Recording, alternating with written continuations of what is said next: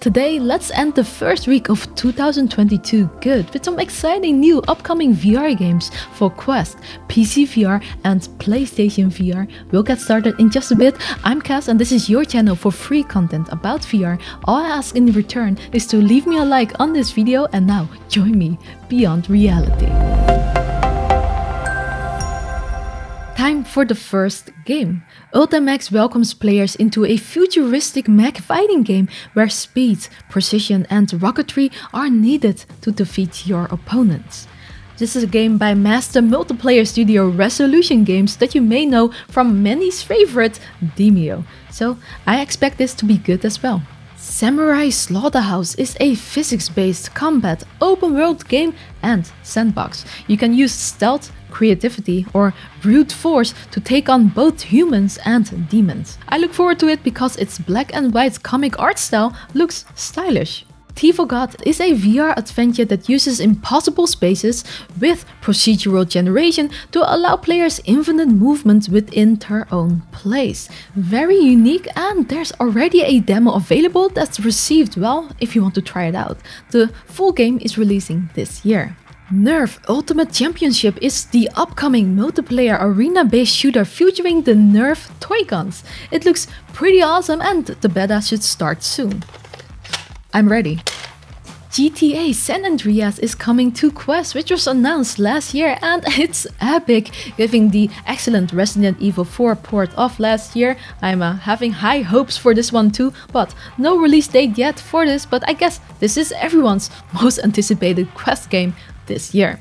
Leave me a like if you agree. Hitman 3, previously only released on PlayStation VR, is now also releasing on PC VR with full motion controller support and it's coming soon in January. I look forward to it as I always thought it needed motion controller support. Talking about PSVR, yesterday we got the official specs, see my previous video, and also the news that we're getting an official Horizon Zero Dawn VR game. It will be a spin-off called Horizon Call of the Mountains, exclusive to PSVR, but hopefully it will come to PCVR later on as per usual. Not any more info yet except for this teaser trailer and that the game is to showcase the new PSVR 2 capabilities, so it has to be good? In The Last Taxi, you are the last human taxi driver on Earth, left with an unexpected passenger who unveils a dark conspiracy that you just want to unravel. This is a story based game with multiple choice driven endings. It looks like a unique one.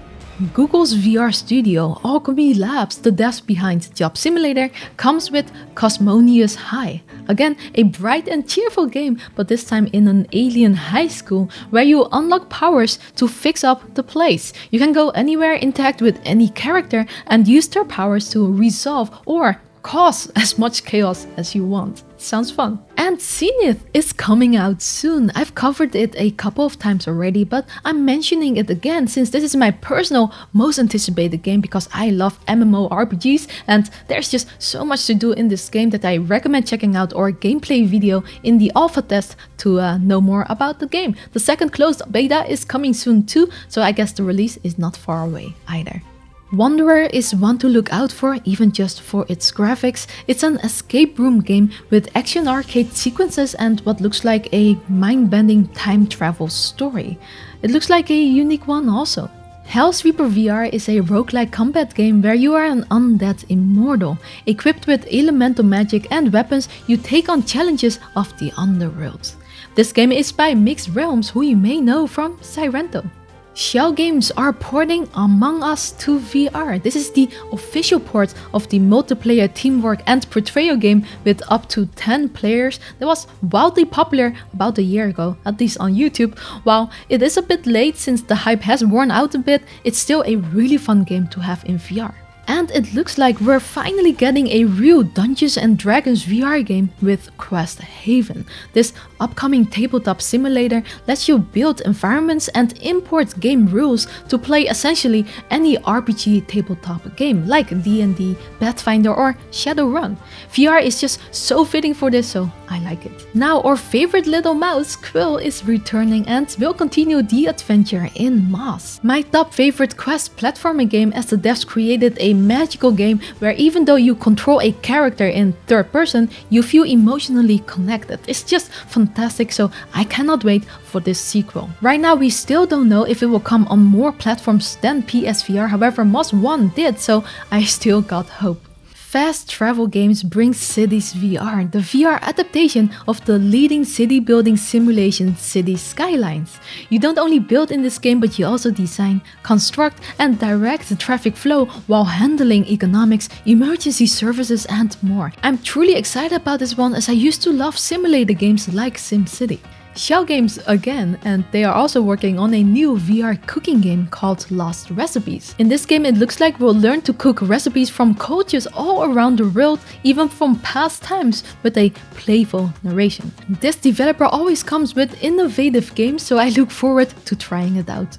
The Last Clockwinder is a Studio Ghibli inspired automation game, a game where you build contraptions out of your own clones in a cozy sci-fi world. Again, a unique one and as a fan of Studio Ghibli's animation shows, I'm excited to dive into this fantasy world. Ultrawings, a popular flight game, is getting a sequel.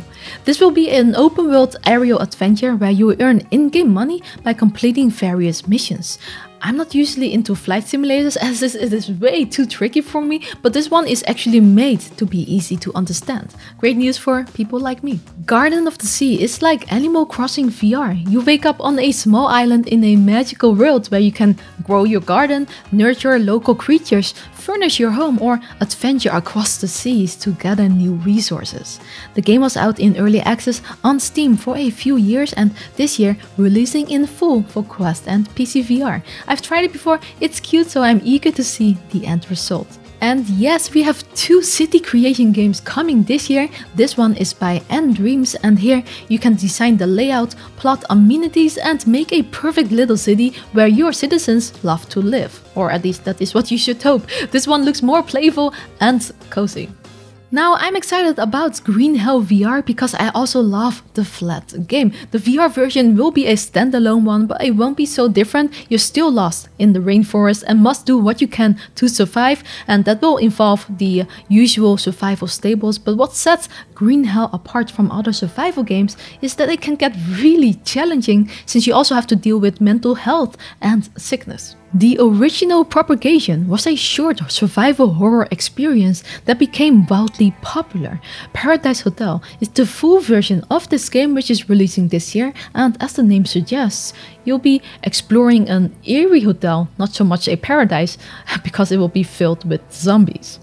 Requisition VR is a four-player online co-op survival game in a apocalyptic world with, you can guess it, zombies. But in this one, you explore abandoned areas where you can use any objects you can find to craft weapons. I like it, the interactions look good.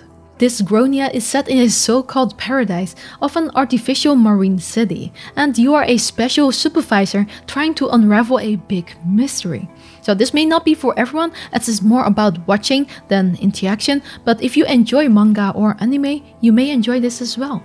Sushi Ben VR is another visual novel but with a unique take on framing the VR narrative with these panels that you see right here.